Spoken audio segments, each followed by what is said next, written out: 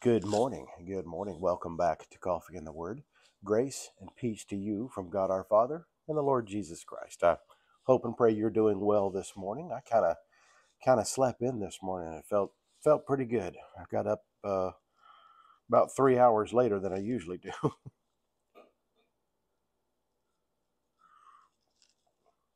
oh, that's good stuff. All right.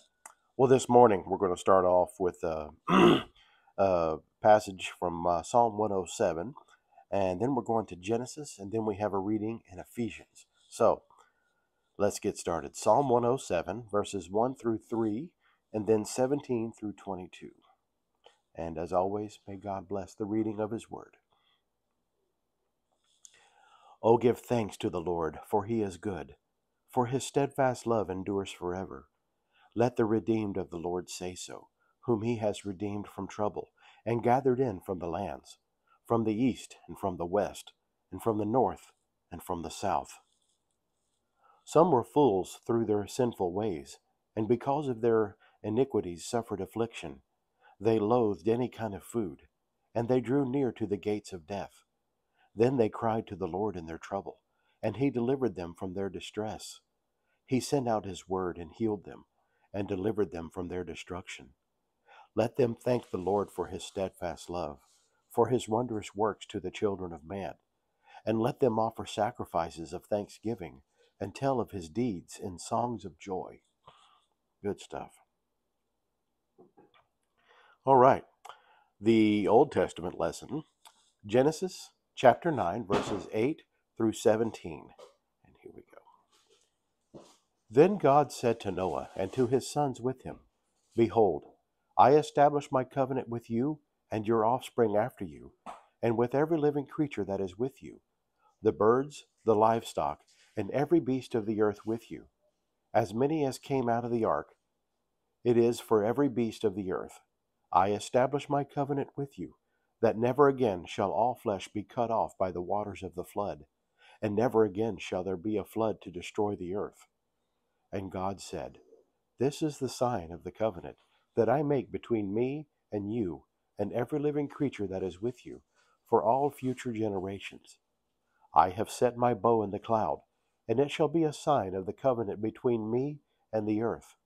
When I bring clouds over the earth, and the bow is seen in the clouds, I will remember my covenant that is between me and you and every living creature of the of all flesh.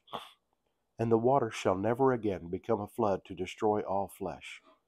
When the bow is in the clouds, I will see it, and remember the everlasting covenant between God and every living creature of all flesh that is on the earth. God said to Noah, This is the sign of the covenant that I have established between me and all flesh that is on the earth. Good stuff. All right. The New Testament lesson this morning, Ephesians chapter 1 verses 3 through 6 and this one is entitled The Spiritual Blessings in Christ. Blessed be the God and Father of our Lord Jesus Christ, who has blessed us in every spiritual blessing, blessed us in Christ with every spiritual blessing in the heavenly places, even as he chose us in him before the foundation of the world, that we should be holy and blameless before him in love. In, mm, in love, he predestined us for adoption to Himself as sons through Jesus Christ, according to the purpose of His will, to the praise of His glorious grace, with which He has blessed us in the Beloved. And this is the word of the Lord this morning. All right. Let me go to the Pray Now app and I'll read the prayer of the day. All right, let us pray. Lord Jesus Christ, whose grace always precedes and follows us, help us to forsake all trust in earthly gain, and to find in you our heavenly treasure. For you live and reign with the Father and the Holy Spirit, one God, now and forever.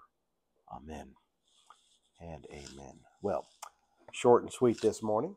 Uh, so, with that, hope you have a great day. So, be safe, be happy, be blessed. We will see you tomorrow morning on Coffee and the Word.